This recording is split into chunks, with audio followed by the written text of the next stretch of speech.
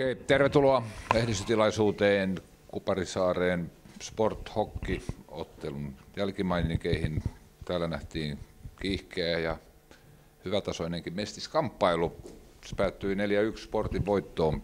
Petri Mattila, Kajanin vastuuvalmentaja, kuinka tässä nyt näin kävi?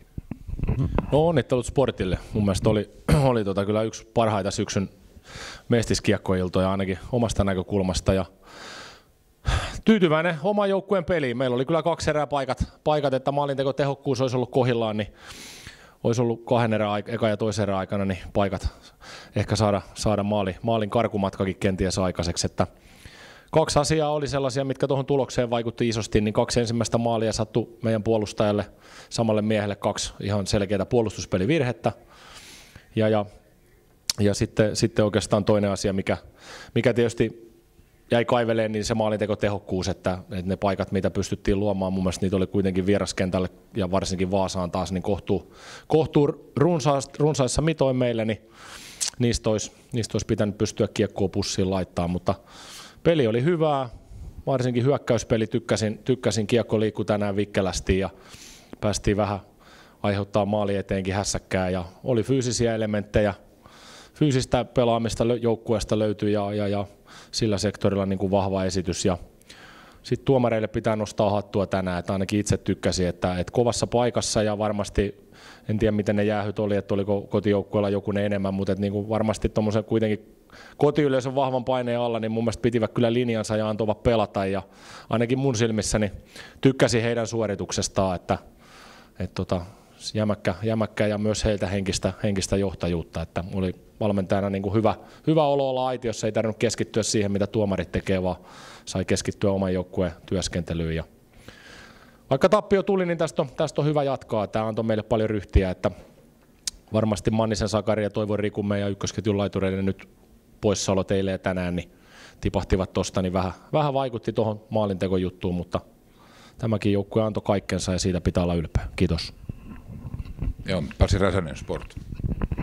Joo, tuohon on hyvä, hyvä yhtyä tuohon, noita loistava, loistava jääkekkoottelu ja loistava tekeminen kaiken kaikkiaan. Molemmat pisti itteensä liko, molemmat joukkueet ja antoi kyllä varmasti, varmasti kaikkensa ja si, siihen mä olin erittäin tyytyväinen oma, oma joukkueen suorittamisessa, että tota, nostettiin tuommoista kamppailutasoa ja pystyttiin vastaamaan, kun tiedettiin kuitenkin, että hokki on kova kamppailujoukkue ja tekee, tekee kovasti töitä, niin me pystyttiin vastaamaan siihen ja ja, ja totta kai on tyytyväinen siihen, että kolme pistettä tuli. Ja, ja mitä noihin tuomareihin tulee, niin tuota, erittäin, erittäin hyvä, hyvää tekemistä kaikin puolin. Että ei siellä, siellä ollut mitään. Tämmöiseen, tämmöiseen kärkikamppailuun, jossa on sitä tunnetta pelissä, niin erittäin hyvin lukivat sen tunteen sieltä. Ja, ja, ja ei mikä, mikä tässä erittäin hyvä lauantai-ilta. Ja tästä on hyvä jatkaa vieraskiertueelle, että et, et, mennään, mennään eteenpäin. Lehdistöllä kysymyksiä. Kiviniemeltä pari aika hyvää peliä tässä viikonloppuna. Vai? Joo, alkaa ja Kiviniemi päästä, päästä rytmiin, siihen, siihen rytmiin mikä on, että kyllä tuossa oli ne kolme, eka peli oli hyvä, sitten kaksi vähän, vähän heikompaa peliä välissä, nyt taas kaksi hyvää peliä ja tota, varmasti keskustellaan tuossa noin, Jämsä huolehtii siitä, siitä puolesta ja tota, mikä on hänen halukkuutensa jatkaa tuossa meille ja, ja, ja tehdään, tehdään varmaan maanantai aikana päätöksiä siitä, siitä hommassa. Että tota, olin tyytyväinen kyllä Jalo peliin tänään. Pisti kroppaa likoon, otti todella tärkeä, tärkeän bloginkin siinä. Ja, ja, ja et, et, antoi esimerkkiä sitten muillekin, että oli sillä monta muutakin. Pekkala esimerkki, taisi parikin blokkia olla sillä, että tota, se, se on niin selkeästi parantunut, että halutaan varjella omaa maalia ja mikä tärkeintä tänään vaan yksin. Hmm. Lisä. Teillä on sitten halu pitää Kiviniemen en ole vielä kerennyt keskustella tuon Jämsen kanssa tuossa sanoi, että hän katsoo aika tarkalla silmällä sitä tänään, tänään ja eilen, eilen tuolla noin ja pidetään ihan rauhassa palaveria huomenna siitä asiasta ja, ja, ja sitten, mutta poika pisti ainakin itse plusmerkki se suorituksen tämän viikon lopun aikana, että tuota, katsotaan ihan rauhassa.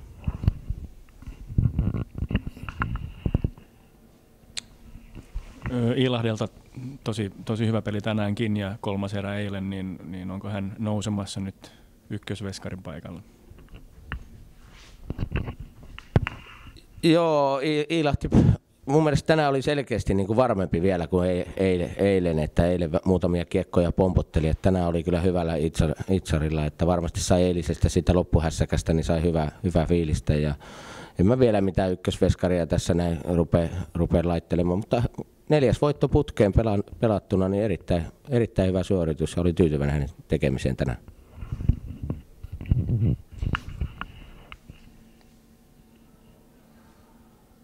Onko lehdistöllä lisää kysymyksiä?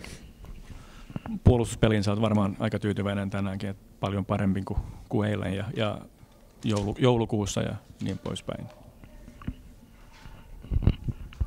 Joo, kyllä me sen, ollaan työstetty sitä aika paljon tuossa noin ja puhuttu ja käyty palaveria sen, sen suhteen ja ollaan pikkuhiljaa saamassa, saamassa sitä tiivimmäksi. Ja ennen kaikkea nyt on nämä Kujanpää Jalo tullut sitten sentteriosastolle sinne, sinne tuomaan niin kuin sitä, että niillä, niilläkin alkaa olla jo pelejä ja alla, että ne niin kuin pääsee siihen puolustamiseen ja siihen ytimeen kiinni. Ja pakit mun mielestä pelasi tänään ja Liimatainen paranti selkeästi pelaamista ja oli kovuutta siinä, että tota, kyllä mä siihen pikkuhiljaa se alkaa niin näyttää siltä, että mitä sen pitääkin olla, se, ennen kaikkea se uhrautuvuus siinä ja oman maalin varjelu. Että tota, mutta kyllä siinä vielä matkaa on ennen, ennen tota helmikuun alkua.